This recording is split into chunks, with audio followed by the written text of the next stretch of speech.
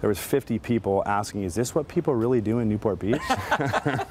Tim Smith is getting a lot of these questions lately. The Coldwell Banker Realtor and his team recently released a unique marketing video for a newly built 14,000 square foot, $45 million home in Newport Beach. The epitome of entertaining for entertaining, but not really a party house, not really a party area. Teach me how to Duffy. Teach me, teach me how to Duffy.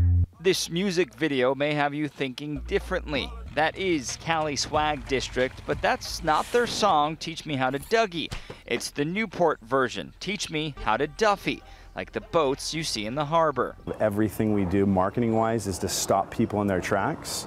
Everything we do, we want to create a viral, like, response. The video that cost more than $50,000 to produce has racked up more than 20,000 views in four days. Smith says the home is ideal for hosting. He even raps about some of the features in the video. Solar power off the grid, Tesla backups for the win. Oh! Check the views you've been missing.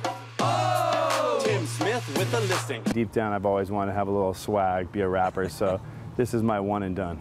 Like with anything, Smith says there's been some negative feedback, but he says the positive buzz far outweighs all of it. It really was a unique opportunity, a unique property uh, that we could do it for, and it's like exceeded all expectations. Smith says he already has four or five serious buyers who want to schedule a viewing. Hello, I'm Mark Brown. Click the ABC7 logo to subscribe to our Eyewitness News YouTube channel.